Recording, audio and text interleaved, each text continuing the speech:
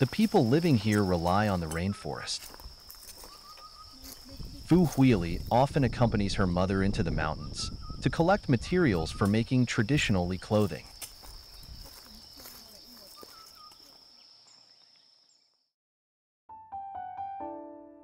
Born in the 1990s, she designs Li brocade.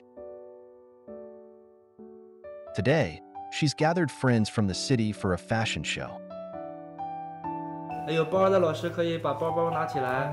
来，三李二锦，在我眼里认为是世界上最美的服饰，三二一，微笑。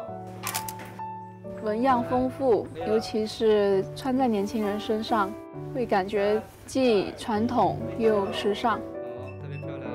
我们制作李锦的原料都是来自这片热带雨林，都是大自然的馈赠。云吗？你说。哦，没有的。这口，嗯，小这口。哦。Fu Huili's weaving skills were passed down from her mother Fu Yu. In many Li families, women pass on traditional weaving techniques from generation to generation. 诶，你把那个果是确定是了。嗯。the colors of Li brocade come from natural materials found in the rainforest. For instance, the bark of Seguin chestnut provides the deep brown hues in the fabric.